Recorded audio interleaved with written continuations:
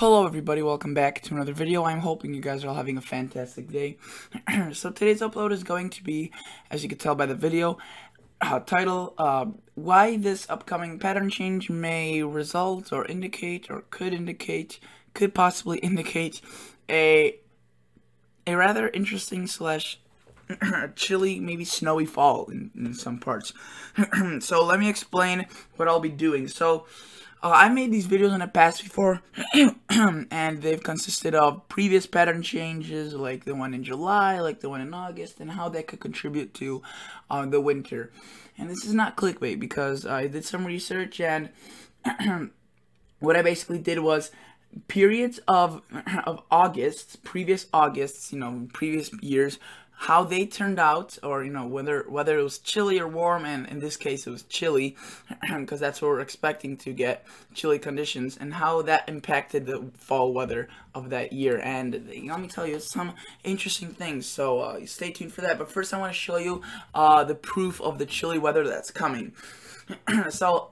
Uh, consider liking the video, consider subscribing to this channel. Um, again, it really, it really helps this channel grow and I really appreciate it. So thank you for doing that. So we're right now looking at hour six of the GFS model run, and uh, hopefully we could just okay. I just wanted to preload it, but.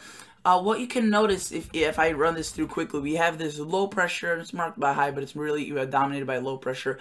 Um, this weekend brings in very chilly uh, air for parts of the country, especially in the northeast. Then it gets a little bit warm. You could see some warmer waves, but then another cool blast of air, and you could see some active weather again, some precip uh, marked with that. And I want to just show you this two meter temperature anomaly. You could see it lines up with very chilly conditions. This is how the first one looked like. That's going to occur this Saturday. You could see, I mean, very, very, very chilly conditions. It's not really going to be warm at all. It's going to be very nice and pleasant. Well, no, I should rather specify uh, for where because uh, you know the East Coast maybe not as much as the Midwest. I think here in this area should be the chilliest.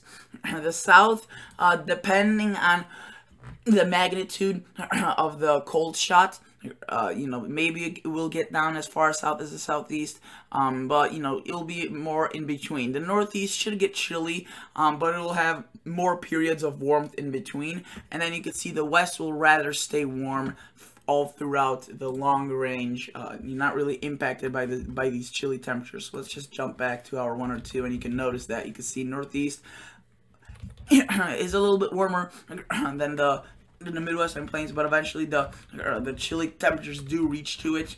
Um, you can see especially right here, but you know it takes quite a while. I mean, look at see you can see it's very chilly here. This is Friday, August 30th, and by the time it really reaches there, it's Monday, September 2nd. While it's still chilly across the Midwest, the West um, itself maybe a little bit warmer, and you can see that uh, continues. Um, it seems like the cool, cool weather may back off, some warmth. You know, this won't be all chilly. It'll be more of of of cold or chilly shots mixed in with um, with warm air. So you know you can see like here's a period of a little bit uh, warmer weather. Weather uh, the anomalies aren't that great in either direction. You can see the west still remains pretty warm, but uh, nothing too terribly chilly around average for most of the country. But then we can see another shot of chilly air comes in, and that pushes um, the heat to become more oppressive in the west and uh, the cold weather to be more noticeable in the east. So um, you can see that that's not just the year um, the the GFS. That was just the GFS, but I want to show you the other models like the European. This one only goes out to 240 hours. But let's look at this.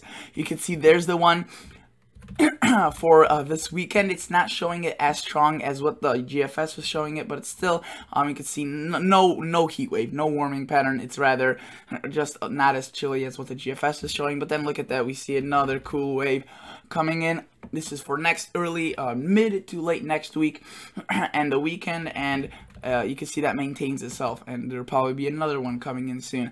So generally on the same page look at the let's look at the GEFS models which is uh, 20 or 30 models of the GFS family and you can see that they're uh, also showing this troughing going on. This is also ne next midweek of next week and I apologize this is not really loading that fast, but again, a little bit warmer in this phase, uh, September 2nd, 3rd, but then we could possibly get another cool off. What the GFS is showing, the GEFS wasn't isn't showing that really, but it's still showing um, uh, below average temperatures for this area despite it being more of a zonal flow based on a 500 millibar geopotential height, you could still see it's kind of like it comes in waves. You can see it was chillier here, it gets a little bit warmer, then chillier again, gets a little bit warmer, and then we could get chillier, or you know, the pattern may break. But what I want to show you, you know, what I wanted to show by that is that the, the, rest of August will be rather chilly. And now, what does that mean? What does a rather chilly August mean? So, uh, you know, historically and based on anomalies. So I, I made this, I made this, uh, this uh, slide presentation, and I compiled a bunch of data together, and I wanted to show you this too. So you can see that this is a title, this upcoming pattern change indicates or could indicate a cold fall.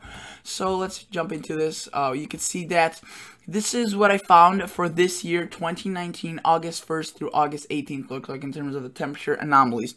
you can see that it was actually pretty warm across much of the southern U.S., but notice how the cold, cooler air starts creeping in towards the end of the long range. So this was, you know, a couple days ago. It's right up there, and this, as again, as I showed you, will dive down into the U.S. for the rest of August. So August overall should end up as being uh, around average for most, starting off above average and ending off cool, you know, below average for uh, the later part of the of the month. So, what does you know? What the, I basically found August that looked similar to this pattern, and I found, uh, you know, the ones that had chilly August later on, and I and I selected a bunch of years. I think I have uh, uh, I have many written down here. Hold up, okay. Uh, I had 2015, 2018, 2014, 2009. 2008 was more of a questionable one. 2004, 1997, 1994, 1992, 1988, 19, you get it. There's a lot of years. And I wasn't going to screenshot all of them because some of them uh, didn't have the same impacts. And I will show you a wide variety though. So, uh, or just a couple at least. You can see that. Uh, so what I basically did was based on this August, what's upcoming, uh, how did it impact the September's historically. And what's actually strange is that um, last year, it was very uh, similar to uh, this year's August, and you can see that this is how it impacted the September. Uh, you can see the chillier was, again, very close to being spread into the U.S., and uh, you can see that uh, much of the country uh, was actually still warm. So that year was, you know, showing that the September may or may not be really um, warm or cold. It may be more, more on the warmer side, even even if the August ends up ends up being cooler. And then you can see that the the whole fall, however, ended up being uh, uh, cold, even though September was warm. And you can see it's still 2018. Now we move on to 2009. You can see most of the fall was actually not that uh, not that cold. I mean, it was pretty warm across the north and pretty chilly across the south. and it was a similar August. So you can see it's not all clear and cut. Here's another one that rather shows a a warming a trend for or a warm fall from September to November 2004. But here we have another one that shows a chilly September through November 19. Uh, this is 1997. So you can see that this is you know it wasn't as clear cut as you know it as some of the other ones I've been making this year, but based on you know what what the first half of the month uh, looked like and what the upcoming pattern change uh, was to bring. This is, you know, it wasn't 100% uh, soundproof, but you could see the, this one was cold, this one was rather chilly, warm, you know, kind of in between, especially for the south is chilly. This one was rather warm, this one was rather chilly. So, these are only some of the years, and again, I mentioned that I had a bunch. I mean, I had 1988, 1987, 1984, 1982, 1985. There was a bunch, and this was only one of the, of the, these, so, uh, this um you can see that this is really uh, a, a hard one to predict but based on other of analogs and based on other features that already occurred this summer I do think that this upcoming pattern change rather indicates a pretty chilly fall and you could see that this is the precipitation rate. And uh, for from September to November of a bunch of years the ones that were the closest to this year's pattern change.